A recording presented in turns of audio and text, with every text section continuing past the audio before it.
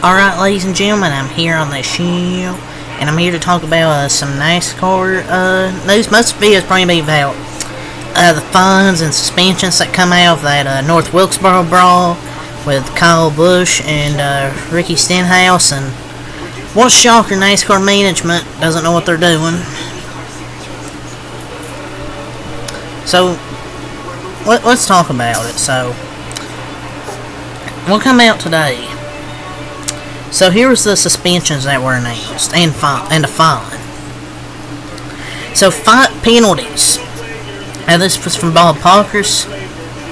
Stenhouse was fined seventy-five thousand dollars. It was something of the code of conduct in the NASCAR rule book.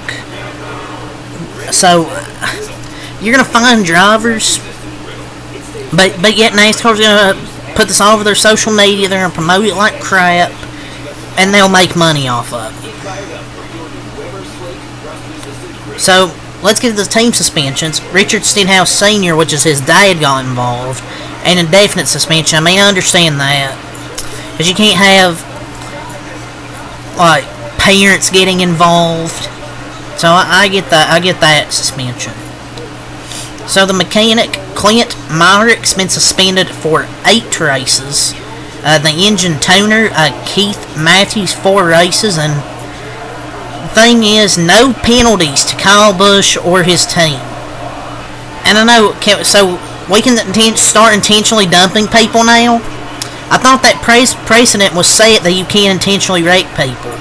But it's Kyle Busch, I guess NASCAR let him get away with it. And oh, that's literally and people be like, oh, because it was done on, done on track. Ricky want to do something, they should have waited and done it short on the track, yada, yada, yada, yada, yada. That's dead ass opposite the dead ass opposite of what NASCAR's done the last few years. They've suspended people for on track at retaliation, citing using cars as weapons and let people throw hands. Austin Hill got nothing when he punched uh, uh, Myatt Snider. I think it was a few years ago at Martinsville, nothing happened. Chase Elliott Bubba Wallace got suspended for intentionally raking people.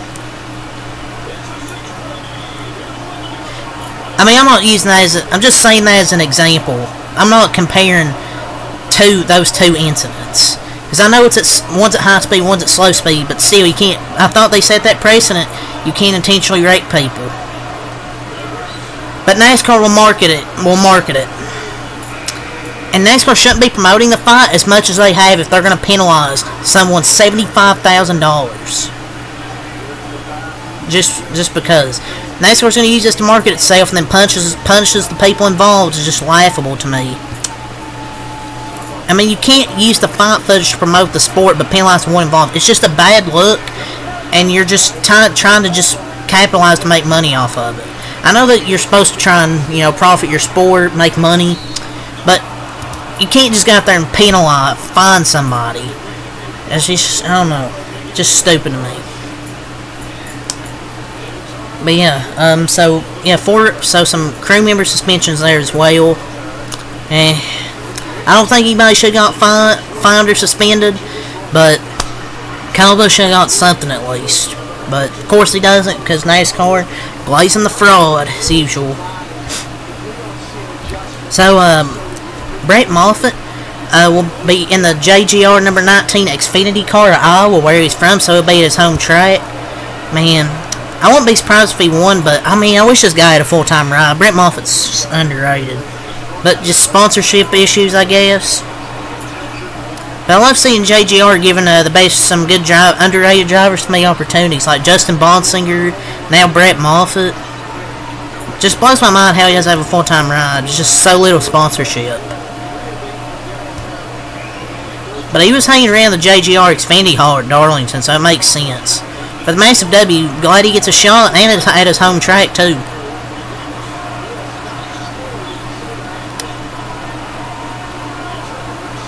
So the Coca-Cola 600 uh, is sold out for Sunday night at Charlotte. Apparently. I mean, it's not surprising. I mean, all those big events always get sold out for NASCAR. Daytona 500, Coke 600.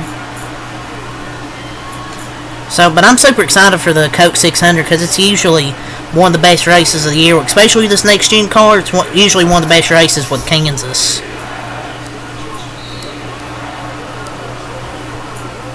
So, um, uh, Elton Sawyer on a Sirius XM uh, NASCAR radio uh, was basically talked about why Kyle Kyle Busch wasn't fined or suspended for raking on part for raking Stenhouse on purpose. He said, "You look at the racetrack, racetrack in the situation. It's early. It's the All Star race. It's hard racing.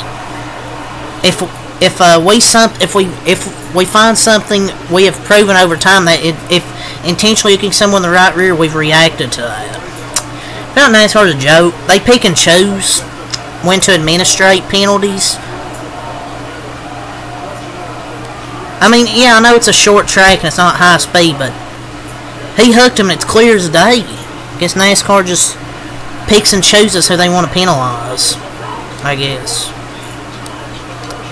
Uh, Sage Karam is back. He joins the uh, Synergy Racing program, uh, program and will pilot the number 26 Synergy Modular GR Supra next weekend's Pacific Office 147 at Portland. So Sage Karam will be back at Portland, which he could probably have a shot to win. So he's been pretty good at those like road courses in Xfinity. Uh, here's the purse money for Charlotte weekend. Cup nine million dollars. Xfinity one million dollars and trucks seven hundred eighty-two thousand dollars. Man, the truck series is in such a dark place with the purse money. Like $782,000. Uh, Ricky Stenhouse uh, told uh, Sirius XM NASCAR Radio that he still hasn't decided if he's going to appeal his 75k fine. For the fight, his team JTG is still deciding whether they want to appeal the team suspension stemming from that fight. I mean, honestly, I would appeal it, but would it even be worth it? I don't think NASCAR would uh, rescind that fine. Honestly, I don't think they would.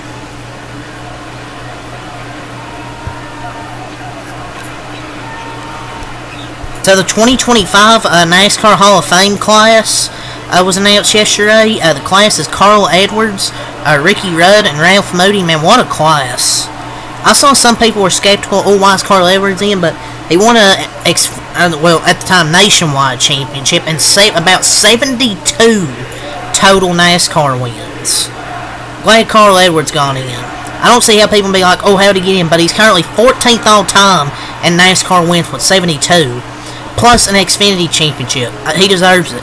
But people probably will think about, oh, the the Hall of Fame is just about the Cup Series. It's not just about the Cup Series. It's just all across NASCAR.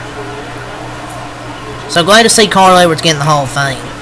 And a shout out to uh, the Landmark Award uh, winner as well. Contributions for Contributions NASCAR, which is Safer Barrier Carrier. Uh, Dr. Dean Sicking, uh, one of the best creations, was uh, creating that safer barrier and made uh, NASCAR racing much safer.